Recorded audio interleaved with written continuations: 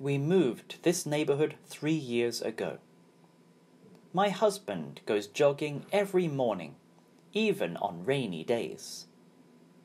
My husband helps with the housework after retirement.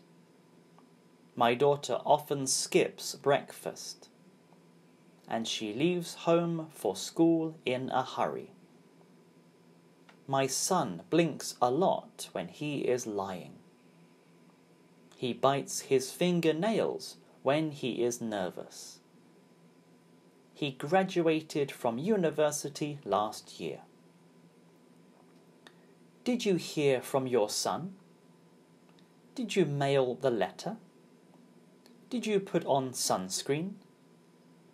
It has started raining. Did you take the laundry in? Did you break your promise to her on purpose?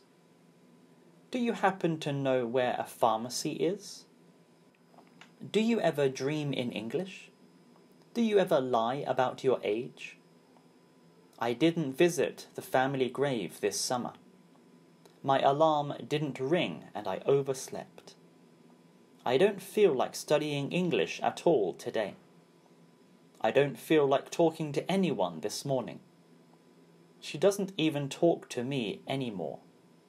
He doesn't drink or smoke. These shoes don't fit, they are a little tight.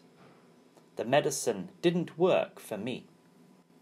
I dropped my phone and accidentally stepped on it.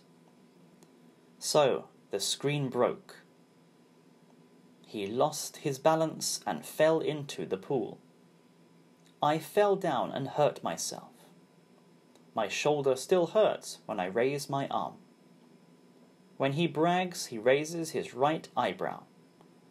The consumption tax rose again. Umbrellas sell well on rainy days. I can't believe it's already October. Time flies. When I was sitting on the toilet, a blackout happened. How do you stay motivated? I wonder how she stays healthy. I stayed up all night to meet the deadline. Leaves turn red or yellow in autumn. I accidentally fell asleep and missed my stop. My brother doesn't lend his bicycle to me. Tom showed us his new car. He bought me a ring. Do you want me to make you some coffee? They charge me $5 for delivery. This car cost me 5 million yen. Our daughter cost us a fortune. We call him Einstein. Do you want me to leave the door open? My three year old son often leaves the water running. This class makes me sleepy.